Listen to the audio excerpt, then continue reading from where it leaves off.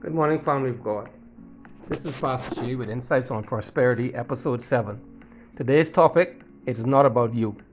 One of the major issues Christians have grappled with over the centuries is God's timing. Many of us pray for God to open doors and to be used by Him for relevant purposes. Sometimes we even identify something specific we believe He has called us to, but there appears to be no open door or clear pathway to this calling.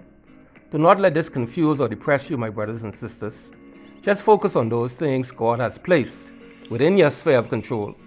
In Matthew 22, when someone asked Jesus what was the greatest commandment in the law, Jesus responded that to love God with all your heart, soul, and mind would be the first thing, and secondly, to love your neighbor as yourself. If every Christian were to focus on these two things, the world would experience a revival of epic proportions.